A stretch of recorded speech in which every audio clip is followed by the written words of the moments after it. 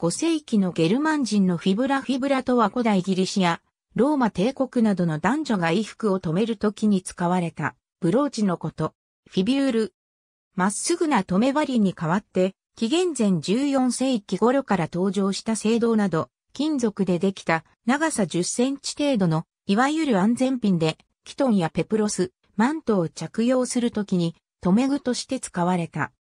ギリシアではあくまで実用品として、装飾は控えめだったが、ローマでは貴族たちによって金銀などで作られるようになり、衣装は複雑になり、宝石や七宝細工などで装飾された。ローマ以後もゴート人やゲルマン人などにより中世に入る頃まで使用された。本体部分は弓型か板状になっている。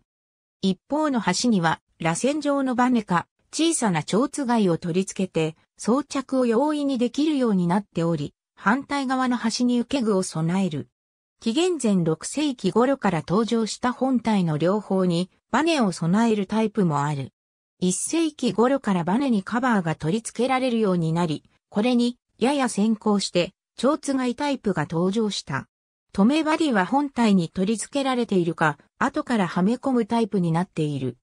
フィブラの装飾を見れば、出身地域や未婚の娘か、それとも、婦人か、戦士か、指導者か、などの社会的階級を知ることもできた。